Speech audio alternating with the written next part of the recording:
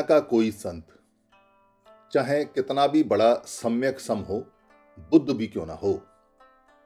वो अपनी बात को, अपनी वाणी को, अपने विचार को, अपनी फिलॉसफी को, अपनी एजुकेशन को, जो उसने रिसर्च करके डिस्कवर की है या रीड डिस्कवर की है, चाहे वो नेचुरल है, चाहे वो फिक्सियस है, उसको दुनिया के लोगों तक दुनिया में नहीं फैला सकता जब तक उसके पास में एक बहुत बेहतरीन टीम ना हो।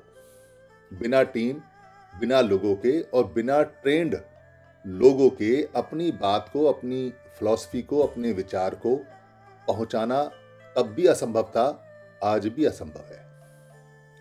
भगवान बुद्ध की जो टीम थी, वो बड़ी लाजवाब थी।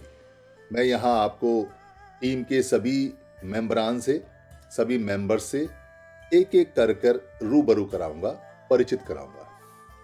इस सीरीज़ में सबसे पहले आनंद को हम परिचित कराएँगे, क्योंकि आनंद के बिना भगवान बुद्ध, तथागत बुद्ध, अमिताभ अधूरे हैं। अधूरे क्या कहेंगे कि जो बातें जीवन भर उन्होंने बताई हैं, उनको अगर सभी को याद करने वाला कोई रहा है तो वो आनंद ही है।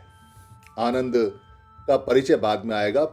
आज की सीरीज़ में हम सबसे पहले उनके पाँच शानदार गुणों, जो उनकी करेक्टरिस्टिक्स है, जो उनकी प्रॉपर्टीज़ है, उनके बारे में बात करेंगे। आनंद बहुत थे। बहुत का मतलब है, जो कोई बोलता था, उसको वो सुन लेते थे। यानी कि अधिकतर बात को सुन के वो याद कर लेते थे। उनकी मेमोरी बहुत अच्छी थी। ये कह सकते हैं कि उनकी जो मेमोरी की हार्ड डिस्क है, वो बहुत ज़्यादा टी बी जी बी गीगी यानी कि उनके टेराबाइट मेगाबाइट गीगाबाइट बहुत ज़्यादा थे। और जो वो सुनते थे, उसको वर्ड टू वर्ड यानी अक्षर टू अक्षर याद कर लेते थे।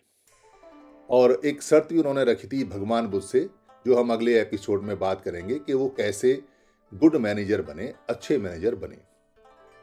इसलिए भगवान बुद्ध के, भगवान बुद्ध के एक्सपायर होने के बाद, ख़त्म होने के बाद में जब ये समस्या आई कि उन्होंने कब कब, कहाँ कहाँ, क्या क्या कहा था तो आनंद ने सारी बातें संदर्भ के साथ बताई, जो कि सारे हिस्टोरियन फैक्टर्स पे, सारे हिस्टोरिकल फैक्ट्स जितने भी हैं, ऐतिहासिक तथ्य जितने भी हैं, साक्ष्य जितने भी हैं, साक्ष्य जितने भी हैं, प्रूफ जितने भी हैं, उन पर खरी उतरती है।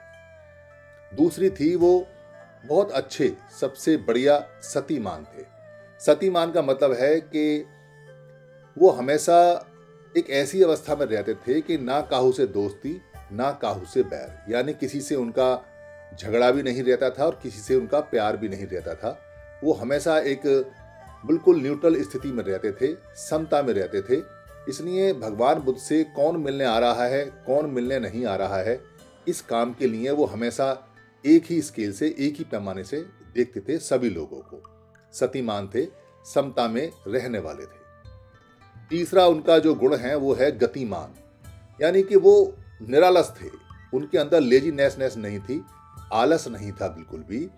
24 घंटे जब भी उनको काम बताया जाता था, जब भी भगवान बुद्ध उनको आवाज़ देते थे, वो हमेशा तैयार रहते थे।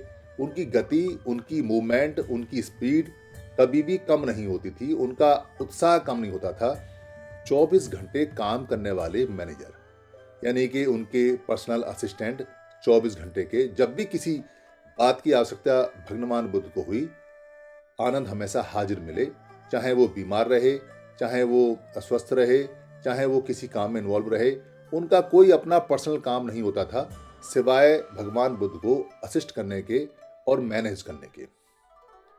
उनका चौथा गुण है धिति मंतु धिति मंतु का मतलब है कि वो बहुत ज़्यादा पेशेंस वाले थे, धैर्यवान थे, धीरज वाले थे, यानी सुधीर थे, बहुत ज़्यादा धीर गंभीर थे।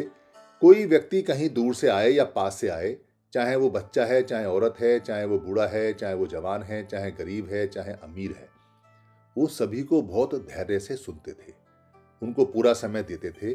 और कभी ऐसा महसूस नहीं होने देते थे कि उनको कोई जल्दी है या कोई और काम भी है। ये गुण उनका बहुत बढ़िया गुण था और पांचवा उनका गुण था बहुत अच्छी सर्विस करने का, यानी बहुत अच्छी सेवा करने का, बहुत अच्छा काम करने का उपट्ठा कान उपट्ठा कान का मतलब है उपसेवक, यानी कि जो सेवा वो करते थे, सर्विस करते थे। उनकी सेवा और सर्विस की बात इस बात से अंदाज़ा लगाया जा सकता है कि भगवान बुद्ध कब क्या चाहते हैं, कब उनका कौन सा समय हो गया है, कब उनको गर्म पानी चाहिए, कब ठंडा पानी चाहिए, कब कोई मिलने के लिए आएगा, कब कैसे होगा, वो बहुत पहले से ही समझ जाते थे, इसलिए उनके काम बड़े सुचारू रूप से चलते थे। ये किसी गुड मैनेजर की जो क्वालिटीज़ हैं, ये सारी आनंद ने एक एक करके और ज़्यादा डेवलप की। इसलिए जो इंडियन इंस्टीट्यूट ऑफ़ मैनेजमेंट में जो मैनेजर का कोर्स सिखाया जाता है। आप कह सकते हैं कि आनंद आई आई एम यानी इंडियन इंस्टीट्यूट ऑफ़ मैनेजमेंट के संस्थापक, यानी कि उसके एस्टाब्लिश करने वाले, उसको बनाने वाले, या उसको एक आईना दिखाने वाले, उसको एक अच्छी तरह से बताने वाले, या उसके फाउंडर आप उनको कह सकते हैं। कैसे अच्छा मैनेजर बना जाता है, क्योंकि किसी कंपनी को चलाना कंपनी प्रॉफिट देती है, पैसा देती है, सारी सुविधाएँ देती है मैनेजर को, मैनेजर इस लालच में काम करता है। मगर यहाँ तो सब देना ही देना है, यहाँ कोई तनख्वाह नहीं है, यहाँ कोई एप्रिशिएशन नहीं है, यहाँ कोई तरक्की नहीं है, यहाँ तो सिर्फ़ पूरे जीवन आपको खपना है और सेवा देनी है, बिना किसी रिटर्न के। और वो आनंद ने पूरे जीवन 120 साल जीवन के उन्होंने जिए, और भगवान बुद्ध 80 साल रहे 80 साल की एज तक जब तक वो एक्सपायर नहीं हुए, तब तक उन्होंने सेवा की। आगे की जो सीरीज़ है, हम उसमें आनंद के परिचय के बारे में बताएँगे। कैसे आनंद का जन्म हुआ, कैसे आनंद बहुत अच्छे मैनेजर बने, आनंद के साथ क्या क्या भगवान की बातें हुई, कैसे कैसे बुद्ध ने क्या क्या बातें उनसे कहीं। आनंद से कुछ गलतियाँ भी हुई हैं। उन गलतियों के बारे में भी हम यहाँ ज़िक्र करेंगे। धन्यवाद।